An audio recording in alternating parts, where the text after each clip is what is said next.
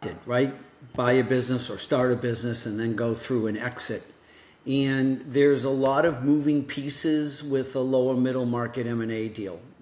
Accidentally, I forgot to record the very first intro of my first episode on the show. Today I'm talking with Bruce Marks. He's a certified M&A advisor and author and the senior vice president at First Bank of the Lake. Resumed. There's um, a lot of, of unknowns uh, that go along with it for first time buyers. And I felt like I had a lot to contribute in that space.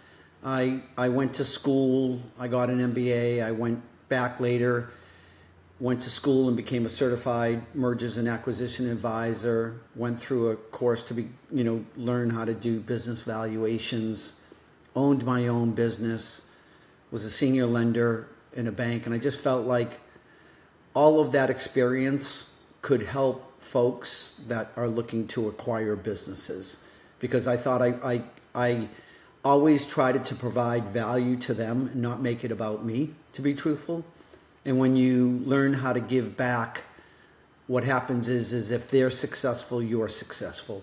And so for me, it was taking all of those experiences, wrapping it up, so called putting it in a ball, and then helping searchers, which is primarily what I do, you know, find, well, I don't find them, but help searchers who do find the right target to get it to the closing table. What's the first thing that you would like to uh, uh, tell your younger self before starting your acquisition journey? So I was recently quoted in the in the Wall Street Journal, and I think that this is, for me, what I would tell my younger self if I had to do it all over again. And if I had to do it all over again, I don't think I would do really anything different, which is which is really something because I think that um, in this space it's just um, a great place to, to play. But to be successful, you have to specialize. You, you have to become a specialist. It's kind of like if you go to a doctor and he's the brain surgeon, right? He's the specialist. And then you become an expert in your specialty and then once you become an expert in that specialty, then it's just letting the marketplace know what it is that you do and what it is that you don't do. So you don't yourself be put into a position where you can't best be utilized and provide value to your target audience. So for me, people who reach out to me do so because they know what I can do for them and it's a great place to be because I don't get bogged down by loan requests for real estate acquisitions because that's frankly not what I do, right? I don't get bogged down with I'm looking to expand my business. Can I get a loan to do that for inventory and whatever? I I've let the marketplace know what it is that I do, what my specialty is, what my expertise is, and that allows me to fulfill my day with doing the right type of transactions that are going to benefit the folks that do come to me. What are the resources that have helped you along the way? So, you meet people that mentor you. You meet people that that change your life. Recently, I I um, had a book published along with Jack Canfield called The Keys to Authenticity. And in that book, I explain about the folks that have come in, in in my life that are still part of my life that helped me to get to where I am. Everybody needs some some help. Everybody needs some training, some teaching, and there's been a lot of folks along the way that have helped me get to where I am today. Um, and I think the key is is is finding, like I said, that niche, your specialty, having an affinity for it, then becoming an expert in it, so you can help others achieve their dream. Right? It's kind of like the payback of of what. And I've been doing this for a long, long time. Um, I've closed, you know, well over 1,250 SBA transactions during my career. I've I've helped a lot of of people. It's it's great to last year I went to a, a Christmas event and it was being catered by a, a, a really terrific small business restaurant style. Um, and it, it turned out that I had financed that business, you know, 22 years prior and helped them get into business and, and was in, and basically gave them the loan to start their business. And here it is, you know, they're super successful 22 years later. And it's, it's very rewarding to be able to meet folks and, and see the fruits of your labor and look at other people's success. Because when you learn in this business, it's not about you, it's about the people that you can help, the people that you can influence, the people that you can basically be impactful with. That in itself is extremely rewarding. Okay, so once we have specialized in our sector, and if someone wants to acquire business and is looking looking for some businesses to acquire or even invest in, what are your specificities uh, to uh, ensure that this this business is right for me and to acquire or even invest? Yeah, great question.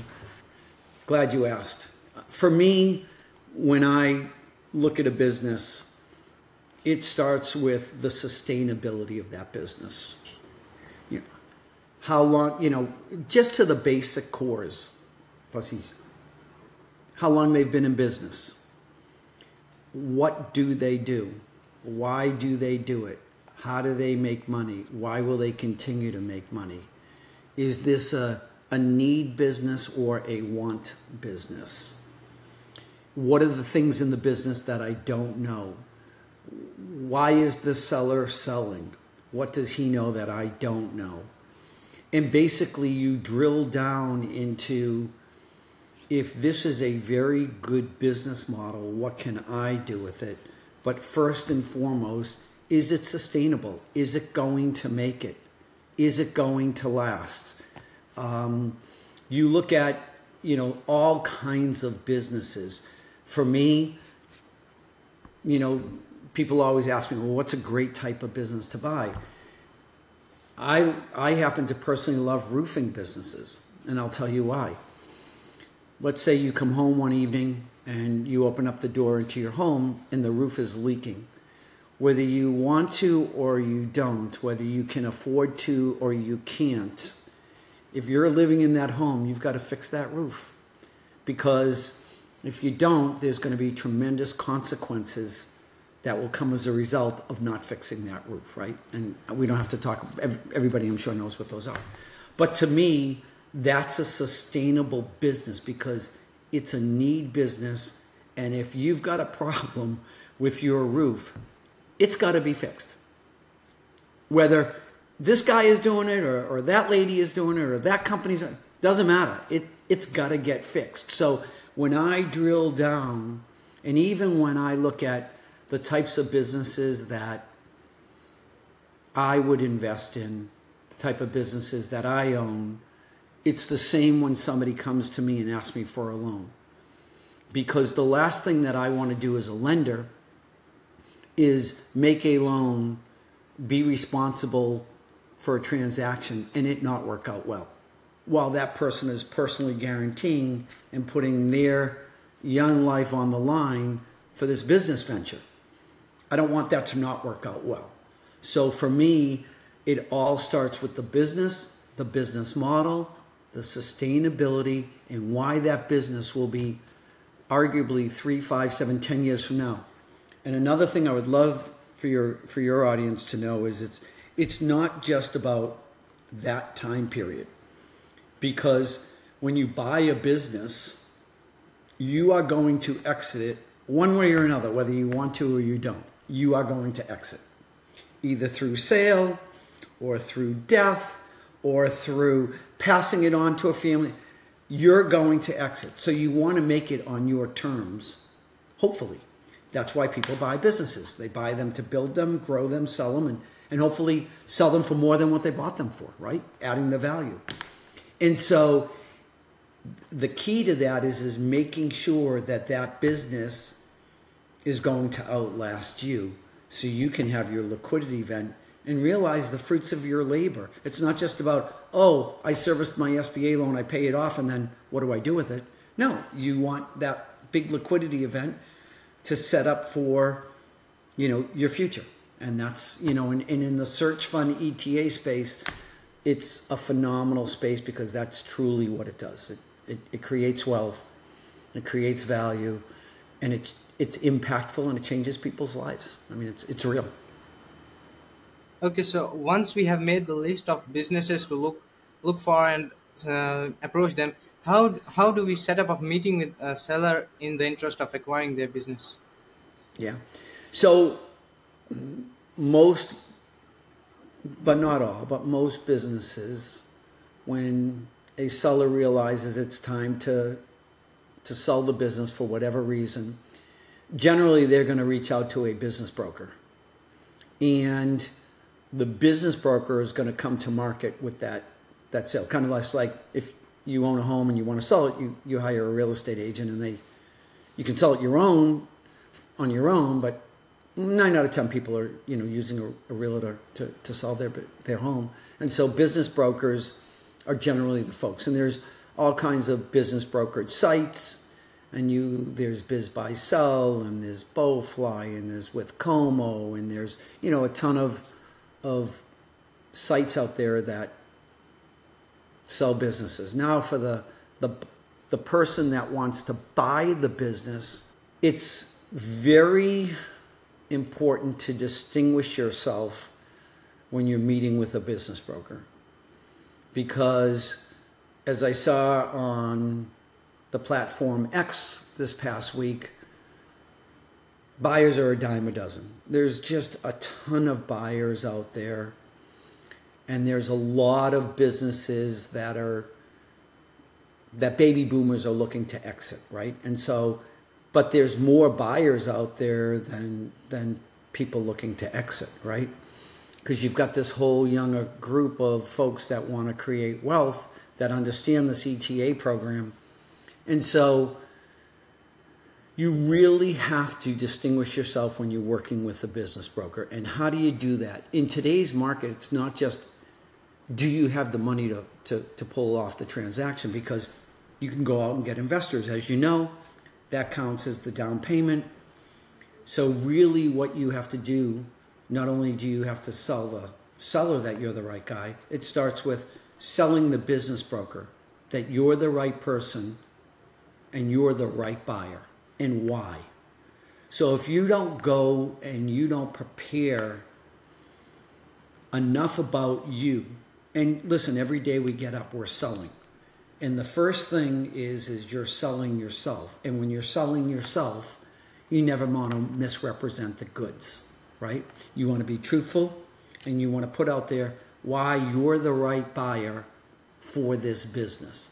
And it's generally not about how the deal is structured.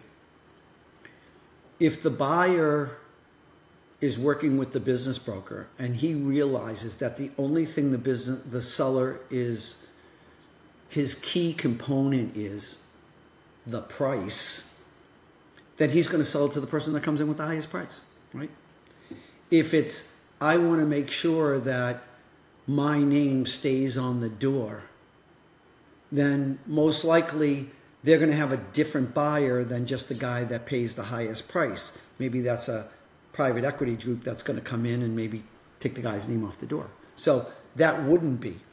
So to me, when I go out and talk with business brokers about listings, I ask them, I don't know the seller. I've never spoke with him yet. You have. You're representing him. I know that, not me. What are his three most important things that he is looking for to who he chooses as his buyer? And I don't think enough people know to ask that question. Because then you can find out exactly what the key points are of the seller, and then you can find out if it's a good fit for you. Maybe the seller says, I want somebody to come in and help run the business but I want to roll 25% equity and I'll personally guarantee the loan and I'm looking to, to basically take 75% of my chips off the table, but I want to go away for four or five months and I'll just kind of be an advisory. And you don't want a partner. And that's not the right deal for you. So, the first thing you have to do as a buyer when you're dealing with business brokers and trying to find the right one is ask what are the three key components for the seller when they're making a choice of who that buyer will be? Make sense? Yes. Um, but uh, once we have set up a meeting and uh, set up a deal uh, and w- how to negotiate the price uh, if he asks 30 times what his business is actually worth Yeah. And a lot of times the that's how good the business broker is in setting the expectations with his seller. Remember the business broker represents the seller. So when you're dealing with a business broker, and a lot of business brokers today, I, I had lunch with a, a close friend yesterday. She owns a, a brokerage firm and we were talking about it and she'll do a valuation on that business that's coming to market and remember this that if a person buys a business and they're going to seek financing a bank is going to require an independent third party business valuation to determine the price so I'll, I'll put it in really easy terms i decide that i want to sell my home and I say to you, I want to sell my home for $500,000. But the market says, hey, Bruce, the, the, the house is only worth $350,000. Well, a couple of years ago, I took out a big home equity loan, and so I owe 475,000, so I need to get 500. Yeah, but the market has come down, and, and when the, the appraisal's done, it's only worth 350. Well, that's what it's worth. So it doesn't matter what the seller wants. To your point, if he wants 10 times EBITDA, uh, unless he's in the pet space, most likely, if he's in the manufacturing or if he's in a home service based type of business, he could want it, but he's not going to get it because the marketplace is not going to allow for that. And if he needs financing, the lender who is required to get a third party independent business valuation when they hire that person to do it, it's not going to flush out. So it doesn't really matter. And so a lot of times, to answer your question directly, it's educating that seller what his business is worth and why. And then the party to do that. Let me give you an example. I've had clients come to me and say, Bruce, I believe this business is worth 3 million. The seller believes it's worth 4 million. What do we do? We're a million dollars apart. Okay, go get a third party independent business valuation. They'll tell you what it's worth. You sign an agreement to buy the business for what it's worth. He agrees to sell you the business for what it's worth. You get that third party independent valuation. They determine the value. You buy it, he sells it. Does that answer your question? Yeah, absolutely. Um, and uh, once we have set up a price and agreed on the price and terms, how can we uh, determine that uh, we? How can we assure that uh, the uh, business we are buying is a zero down deal and we ha- we are putting little to no or no money to buy it? Because that Right, happens so- in the market a lot. Sure. So, at least with SBA financing, and even not with SBA financing, any bank is going to require you to put down some equity. So, let's say you're a, a person who is going to be a searcher and you're going to search for the business, and you really don't have any money yourself. You would then go out to investors because the minimum that you would have to put down, if the seller holds 5% on full standby, you would have to put down 5% as equity. So let's just say you're going to buy a $2 million business and you say, okay, I need 10%, 200,000. The seller says, I'll hold 100,000 on full standby. You need 100,000. That's the requirements. If you don't have any money, you go to family and friends, you go to investors, maybe you pull out, maybe you have a equity in your home, maybe you bought a home, it's you paid 250 for it, now 7 years later it's worth 500, you can pull out 100,000 in home equity right? Use that as your down payment, leverage people that you know, but it takes money to make money. So to think that you can go buy a $2 million business with nothing down, it can happen if you have nothing, but that doesn't mean it's nothing down. Yeah. And what's the biggest tip uh, in your industry that you would like to share that have helped you across your way and, and your life a lot and works every time for you? What works is when you have a willing buyer, when you have a willing seller, and you have a willing lender. If people, if sellers are drawing a line in the sand, saying, I only want this price, I, I am sticking to that, whether the business is worth it or not, that makes it tough to get done if you have I, I've had transactions where I've had buyers and it's a philosophical type of thing. I know this seller wants $3.1 million for the business. I think the business is worth 2.9. I'm not giving them the 3.1.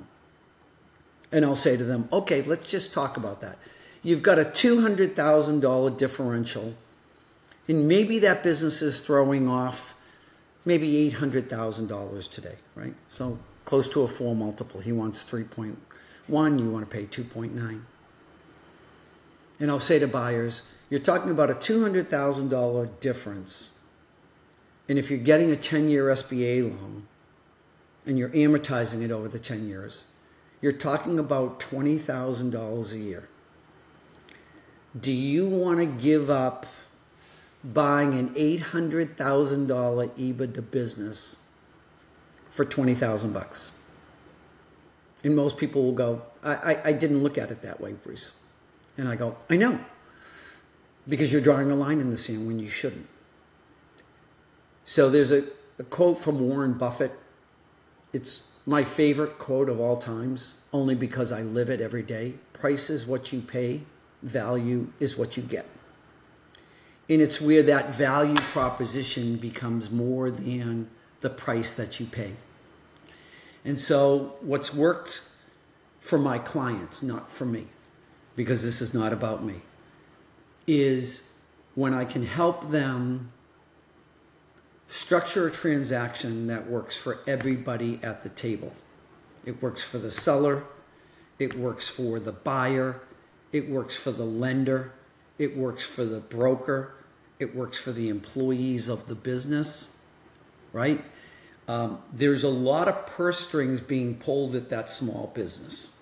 When a loan closes, that business is now responsible to pay the bank, it's responsible to pay the seller, it's responsible to pay the new buyer. Enough for him and his family. Its responsibility is stayed the same in that it's got to service its customers, it's got to pay its employees, it's got to pay its suppliers, it has a community reputation. When you look at all of those things, a key component to that is buying a business that you're going to love and that when you open the door of that business if it is a business that actually has a location that you're going to love what it is that you do i've got several several quotes that i've learned over the years and one of them is you know you love what you do when you'd rather be doing it than not right if you have a choice today to get up in the morning and on a Saturday come in and do a podcast. There's one reason you do it because you love it. You and, and I do. I, I, I love what it is that I do. And that's why I do it. I don't have to do this anymore. Um, I'm very blessed and very fortunate. I do it because I want to do it. I want to I want to be impactful for others. And I think when you're looking at being a buyer of a business, and all the responsibilities of that business, the one thing that you really need to understand, setting up from success to go back to my first point, becoming a specialist, becoming an expert in that specialty, and then letting the marketplace know what it is that you do and what you don't do. As a buyer of a business, you better love that business. It's not just about buying cash flow. You should have an infinity for it. You should, because I've seen people buy businesses and they thought the business was great because they have great cash flow, and it's not. And they're coming back a couple of years later going, I, you know, I made a mistake. I, I, I think I bought the wrong business. And they're, and they're selling it, right? So I think all of that, I know that's a lot in answering your question, but when you're drilling down and trying to find the right business, I think you would be remiss if you didn't take my comments into consideration as you're trying to find the right one. Okay, so what's the acquisition that you thought in the mind that this was the thing I was waiting for in your career? What's the acquisition that you loved the most in your career? One of the one of the acquisitions that I thought was just phenomenal and one that I never knew would have existed was several years ago a searcher said to me, Bruce, I've I've got a business that I'm looking to purchase. It's in New York City.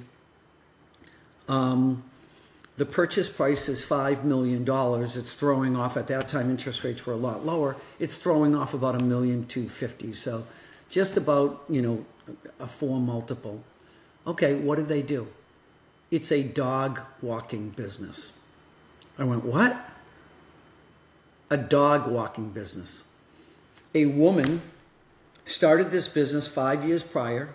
She was walking a neighbor's dog because the neighbor was out of town. And somebody in the apartment, she lived in a large apartment complex, saw her and said, Oh, isn't that so and so's dog? Who are you? And she said, Oh, I'm, let's just say Sally. I'm Sally, and I'm walking so and so's dog because they're on vacation for a week. And the woman said, I'm going away next week. Could you possibly walk my dog? And she was like, Okay, how much do you charge? They worked it out. Somebody else saw her. She gets the second dog.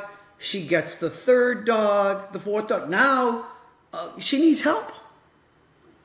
So she grew a business. She had 25 dog walkers in her stable servicing several apartment buildings and condominiums in downtown New York walking their dogs. And I'll never forget when I brought the deal to the bank, my boss at that time lived in downtown Chicago, had a dog, and utilized a very similar service. And it was just, I'm like, wow, I didn't even know that kind of business existed. And it was just an unbelievable, I didn't end up doing the financing, another bank did, just to be transparent.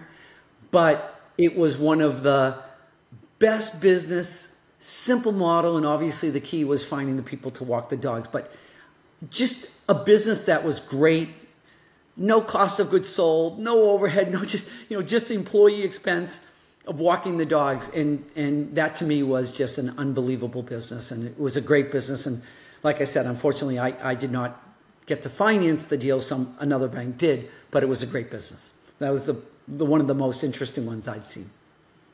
Bruce, what's the thing that I haven't asked yet, and you would like to uh, tell in this show and share in this show? I think you asked a lot of, of great questions for your audience. I, I think that I've, I've shared with them the majority of the points that I, I would want to get across. Um, I'll just maybe end with my one of my favorite quotes is is today you're the best at what it is you do, but tomorrow you'll be even better. And each and every day we gain experience. Yeah. And for folks buying a business that they think they are going to be super successful in it at 27 years old when they're 37 years old There's a lot of things that happen over that time. I get a lot of folks that come out of school, the ETA program, and immediately heard about search and want to jump in. The thing that I would just like to say is there's no teacher for experience. There's a saying, I wish I knew then what I know now. And I always say, you can't because you haven't lived it. You haven't experienced it. And experience is the best teacher. So I would say, have vision for what it is that you want to buy, get experience, learn how to manage people, learn about the industry that you want to go into. Become a specialist, become an expert, let the marketplace know what it is that you, you do and that you don't do. And I think those are the keys to be successful. And what do you think your viewers can find you well on this episode? Yeah, so on the what was Twitter platform, which is now X, my handle is at SBA B Marks, SBA B Marks, and they can always reach out to me through my my bank email, which I'll be happy to share, which is B marks at fblake.bank, B-A-N-K, bmarks at fblake.bank. So either way, I'm super available.